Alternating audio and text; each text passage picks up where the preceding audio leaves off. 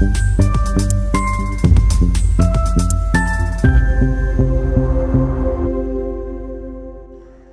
দর্পণ বিনোদন সবার জন্য।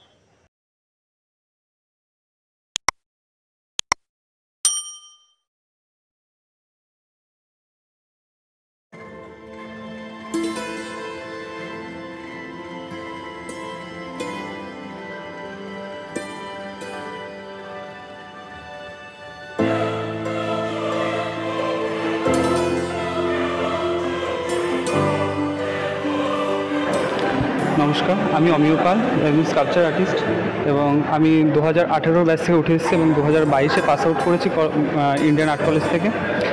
এবং এখন মাস্টার্স করছি বর্তমানে এবং আমি একটি কাজ করেছি যেটি হচ্ছে দেখাতে চেয়েছি একটি হিউম্যান এবং একটি গিরগিটিকে দেখাতে চেয়েছি। যেমন গিরগিটি সময়ের সাথে সাথে নিজের রং বদলাচ্ছে, তেমন মানুষও এখন বিভিন্ন সময় বিভিন্ন মাধ্যমের সাথে তারা সময়ের সাথে সাথেও নিজেকে পাল্টাচ্ছে, রং বদলাচ্ছে, বিভিন্ন পরিস্থিতিতে তারা নিজেকে চেঞ্জ করছে।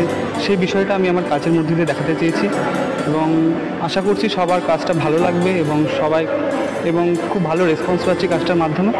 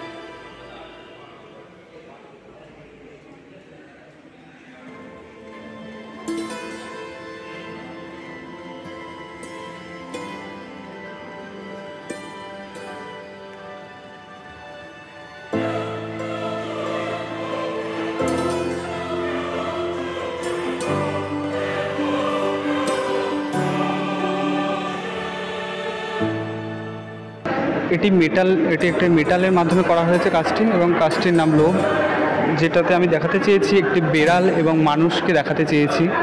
মানুষরূপী বেড়াল যাকে বলা চলে। যেখানে বেড়ালের মাছের প্রতি একটি লোভ রয়েছে, লালসা রয়েছে, তেমনি বিভিন্ন মানুষেরও, আজকালকার বর্তমান সময়ে মানুষেরও বিভিন্ন বিষয় বস্তু এবং বিভিন্ন জিনিসের প্রতি একটি লালসা লোভ রয়েছে। সেইখান থেকেই এসে আমি কাজটি ইন্সপায়ার হয়ে কাজটি করার চেষ্টা করেছি। এবং কাজটি আপনারা দেখুন এবং আশা করছি সবার খুব ভালো লাগবে।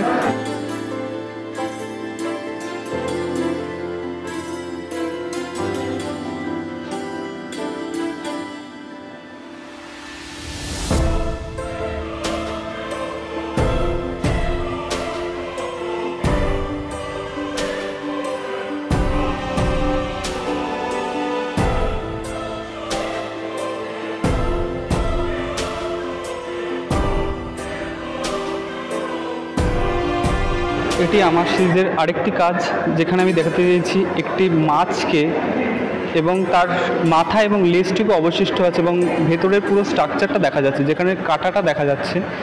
এখানে মাছটি প্রায় সমাবক্ত এবং বাঙালি যেটা বিষয়, মাছে ভাতে বাঙালি, সেই বিষয়টা আমি এই কাজটার মধ্যে দেখানোর চেষ্টা করেছি। আশা করছি সবার খুব ভালো লাগবে।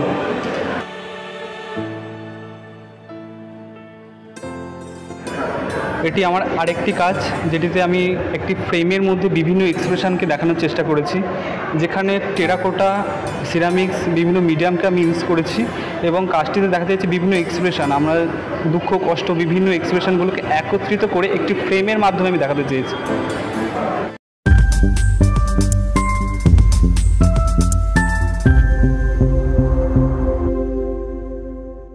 বং দর্পণ, বিনোদন সবার জন্য।